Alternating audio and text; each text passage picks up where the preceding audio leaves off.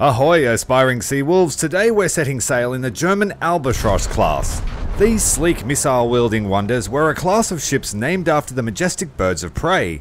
Crafted by German shipbuilders Leussen and Kröger, these vessels were designed to replace the Type 141C Adler class. Our story kicks off in the 1960s, the design and development of the Albatross class reaching its final stages in 1966. Fast forward to 1972 and the order was cast and the shipbuilders danced their magic. The first units were launched and commissioned in 1976 with a composite hull designed by Lawson. These beauties weighed in at 398 tons and stretched 57.8 meters long, 7.8 meters wide, and dipped 2.6 meters. Powered by four MTU diesels churning out 17,700 horsepower, they sliced through the waves at a nifty 40 knots. Two Otto Melara 76mm guns played both sides of the anti-surface anti-air game, placed like sentinels fore and aft. They were backed by four MM38 Exocet missiles, strategically nestled in dual mounts, with two torpedo tubes that fired SEAL wire-guided torpedoes. Equipped with SMA-3 RM-20 navigational radars and WM-27 surface search and fire control radars, they were designed to search for and intercept a variety of threats. Hot dog decoy launchers and chaff launchers were fitted to offer protection from reply missiles.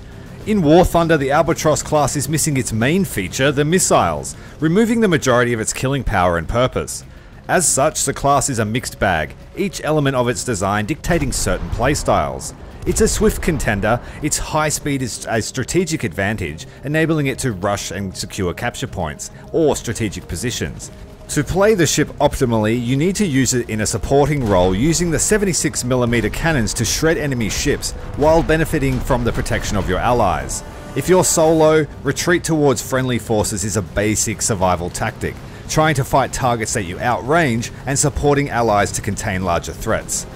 The vessel has a decent ammunition load, totally nullified by an 80 round ready rack that takes an eternity to reload, and this process stops if you shoot. While formidable in a one on one scenario, the appearance of other enemy vessels will often spell doom. The torpedoes, though potent, are rear launched and require space and time to turn on their attack heading, and so are rarely useful in a close range ambush. This pushes the vessel further into the long range support role. A major drawback of the vessel is its fragile construction, being lightly armoured and armed, the Albatross can quickly find itself overwhelmed in the face of enemy firepower. It excels in the supporting role and it should leverage its potent 76mm cannons. In 2005, the German Navy bid farewell to this class, passing the torch to Tunisia and Ghana, Tunisia inherited six boats, minus their Exocet missiles, while Ghana secured two vessels in 2010 for 28 million euro. G'day guys, welcome back to the Waves of War Thunder. Today we're grinding out the last vessels in the German coastal tree, and I'm also working on the latest coastal task, which is to get 20,000 damage with a gun bigger than 75mm which means the 76mm is the perfect gun for the job. Fast firing, decent damage. On a coastal vessel at 3.7, it's going to do work to the smaller vessels. In the initial stages of this engagement, we want to neutralize the coastal waters. There's a cyclone there. It's our biggest threat. We're going to make sure we set fire to the bridge, the radio room, the fore turret, and that should destroy his ammunition. They're a little bit tender if you set a fire in the bridge. And there we go, we've had to get a kill. Fairly easy kill there with the Bussard. We are very fragile though. We either explode with large rounds or we get shot to death. The Bussard is the uh, the event version of this vehicle, and so it's got secondary pintle mount gunners as well, which does give a little bit of extra help at close range, but they shouldn't be relied on. Oh, we've got a missile inbound. It's a shame I can't deploy the chaff. USS Douglas firing his anti-ship missiles. Second one inbound. Need to get him before that missile tracks us. The RIM 24, very potent anti-ship missile, and that would instantly destroy us. Alright, so we've cleared the coastal waters. You want to... Oh, there's an extra guy here. You want to leverage the power of the 76mm gun by keeping your distance from your foes that have smaller calibers and whacking the ones that can fight you. And then we're going to use our speed to contest capture zones. It's not as fast as a lot of coastal vessels, but for its size, it is quite large. It is a shame that we have the missile tubes there that are not functioning, because they do waste a lot of space on the deck, and while they're not dangerous, like you won't die. Oh, we've got another target here, PT. PT, PTF-7. While they won't kill you, they won't detonate because they have no missiles in them, they do extend the length of the ship and therefore make you more vulnerable when you're broadside. If this ship was missing those and was a little bit shorter, it would be quite a maneuverable little boat. We're going to head to Bravo Point. No doubt Mr. PT, we've got the V990. Need to lead more, but he's running into cover. We've got one hit on him. Now my major concern here, oh we've got another another coastal vessel, that's a friendly. Friendly albatross. Okay, so yeah, coastal supremacy at the moment. Now, in this map, it tends to be a decent spread of the battle ratings, so we may run into destroyers that have already pushed the capture zones. But for now, it looks like the Charlie Point is clear and the other Albatross is watching us here. Got a G5 here, can take the aggro if there's anyone around the corner. But in the early stages of this battle, we're doing fairly well despite the capture zone deficiency. Got a Sumner inbound. We have the firepower to take out turrets and that sort of thing, but the, the torpedoes are very hard to get on target at the last moment. They're not the sort of torpedo that you launch in a panic and get a kill. They take about 5 to 10 seconds to turn around on the attack heading, and that requires planning. But they have a very long range and a decent sized warhead of 250 k uh, kilos. So we'll capture up the Bravo point and try and give our ready rack some time to reload because they run out of ammo very quickly and despite having so much on the ship, you rarely get a chance to use it all. So it's the opposite problem than what the Sparviero has. This boat has ammunition, it just can't ever get it up into the gun to be used. And it's kind of disappointing because the Soviet 57mm is magazine fed, so once it runs out of its, think it's 2,000 rounds, you just slot another one in over 10 seconds.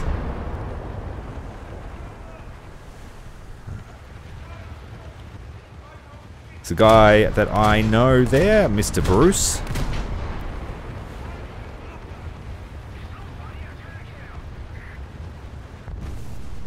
Stay away from him, because he will clap us with his accurate fire. We're playing the coastal game today. Got an enemy coming inbound. We'll work our way over to Charlie Point to stop him from taking that. He's got artillery coming in on him.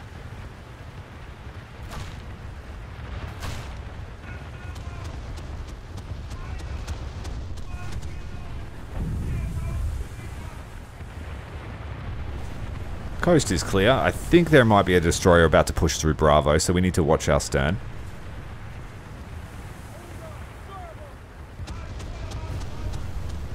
USS Wilkinson's taken down that Sumner.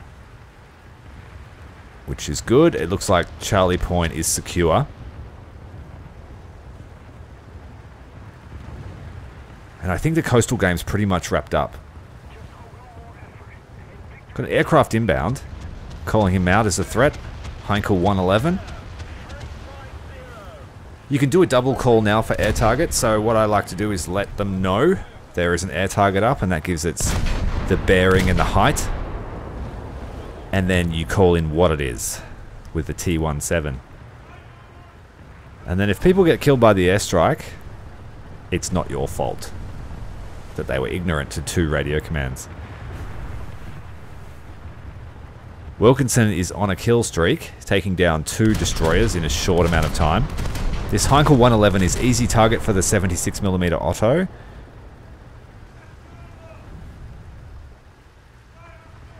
is the compact version, the earliest version of the Otto Melara. I would like to see the later versions. Super Rapid, I think it's called, is one. Well, we've run aground, dreaming about more modern weaponry. now, the effective range of the 76 is about 8 to 9 kilometers, but it is capable of firing further. Despite having the radar rangefinder, it's still pretty hard to hit targets at that range.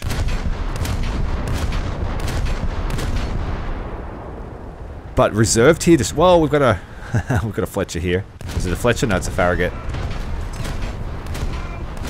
It's dangerous. He's got oddballs' decal on the side. We're going to launch one of these torpedoes, but I'll show you what I mean. not locking our lo luck. We've lost the bridge.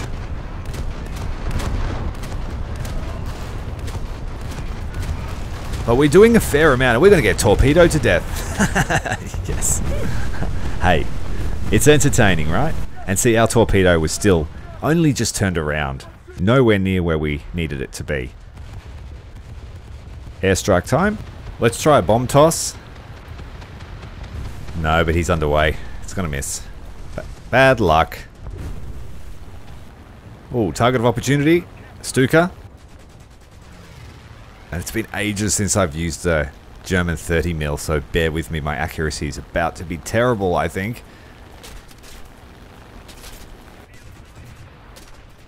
Yep, this Stuka's going to shoot us to death with his pea shooter. There we go. We clipped him with one, maybe two, three, four, five. Yeah, we go. It's enough. Easy does it on the landing. And we J out. There's an SKR I want to kill. Where is he? There he is. Disable him quick. Get in his stern. Take out that 76. And if he stays still, he won't be able to maneuver, he won't have enough speed. Fire a torpedo. Thinking he could just sit in the spawn and spawn kill all my allies. He's just hit the accelerator, but it's too late. I'm satisfied now. So coastal gameplay is not too bad in the way of RP rewards, you just need to do lots of damage and stay active. This is a terrible map for Coastal, especially against destroyers, because the, low cover doesn't give you any opportunity to hide from their rangefinders. Once they target you, they generally can't lose sight of you. So, uh, I think this might be a short lifespan, depending on how many coastals spawn in first. Fairly full battle, and like in the last match, we want to coastal clean and then try and damage any destroyers, but like I said, they can they can whack us from now. As soon as they see us, they'll start shooting at us. Got something picked up on the radar. Don't know what it is. We'll just shoot at it anyway.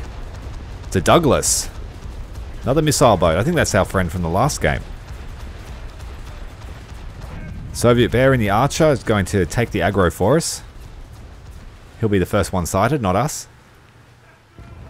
Hoping the camouflage hides us. Douglas is dropping smoke. He's lost his bridge already.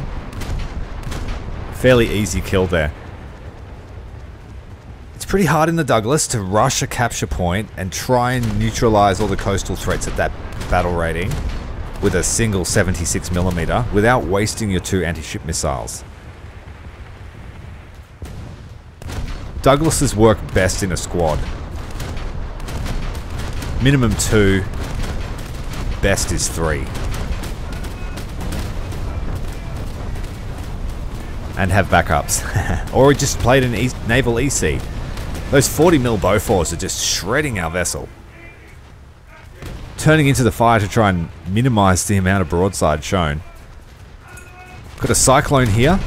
Same as last time, we want to add, uh, attack the gun the radio room, and the bridge. Set If we can set a fire, they tend to explode because the ammunition is above deck. Just above the bridge. Got that fire set. Got a riverboat here. Oh, I just can't get over that. Got a, a destroyer in the background.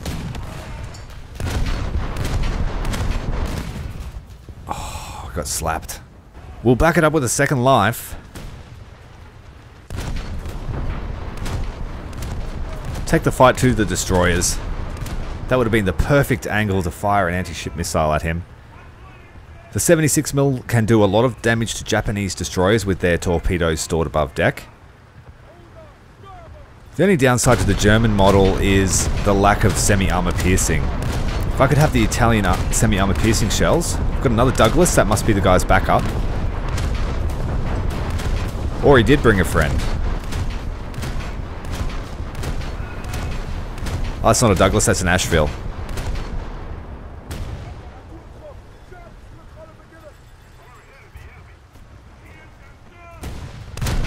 Got that Farragut out in the background. We'll put some fire, try and take out his four turrets.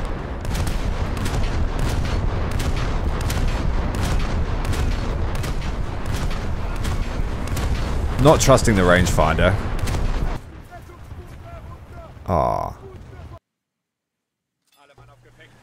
Using the Albatross this time, this one doesn't have the secondary pintle mount gunners, so you have to totally rely on... Oh, that's a very nice camouflage for the Project 206.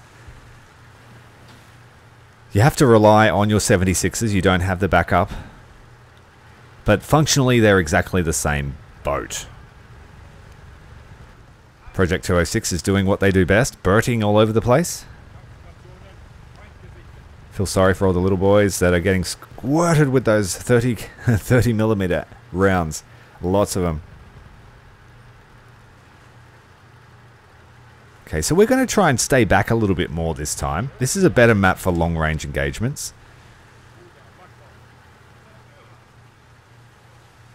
That's probably an M802. Yep, it is, judging by the German flag and that heavy coal stack. Try and get those over. Just managing to hit the ship But we have fairly good velocity, so it is hard to get them over those those obstacles. so we'll push forward a little bit more. Try and put some pressure on that guy. Oh, we've got a second one. Is that a second one? Yep, it is. German ship. Now, we're pretty safe from his 20 mils at this range, but the 37... Oh, we just clipped someone going past. 37, and he's just taken our bridge out. 37mm and the 10cm guns are very strong. And if the player knows how to use them... I've just run aground. Smash the bow on the rocks. Another coastal vessel, but again, I don't think I can shoot over that obstacle. Unless we raise, raise the rangefinder, try and shoot it over and just glance at its top, but he's very, very low in the water. I hear rockets. Is that rockets? Sounded like rockets. Put our attention back to Mr. German over here, trying to farm the spawn.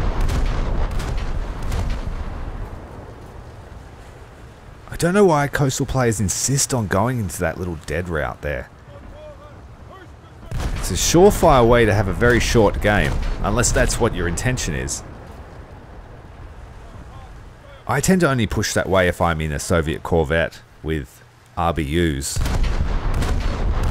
And you meet everyone that has the same idea as you, but they don't have the RBU. anyway, let's get back to this guy. He's proving to be difficult hiding behind that obstacle there. You can't really penetrate the sides of those ships because they have a very thick hull and the coal bunkers, but you can do a lot to their crew and decks. Very exposed. We'll try and push towards the second one.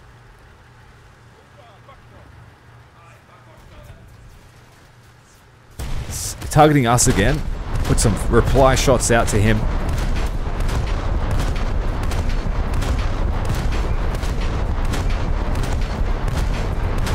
Pretty effective damage there. But can we finish it off? I don't think so. Now we're in a pretty sorry state now, 21% crew.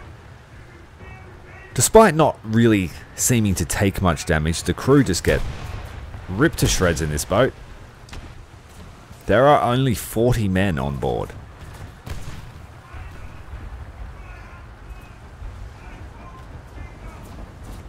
Trying not to run aground. But we need to buy some time. Try and get my allies to engage that M802 and then I will.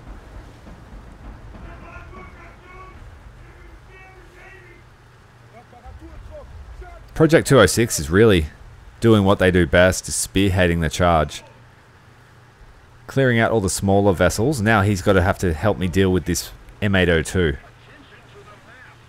A second one spawned in. Still, I can't get the guns over, can I? Yes, we can get him over. Now we just need to shoot. And I'm also running very low on the ready rack. I could just feel it. So you really have to temper your shots. I wish you could just act like an SKR and just open fire until the, the magazines were dry. But unfortunately that's not the case. And we've been taken out by the M802. Let's see if we can get a revenge torpedo. He's not looking at us, he's looking at our friend that's coming from the other side. Torpedo away. No, now. That's better. Now. He still hasn't seen us. Here come the torpedoes, friend. Nice, easy revenge torpedo. So there we go. I managed to get the challenge that I was trying to finish. Make sure to leave a like down below, and I'll see you next time.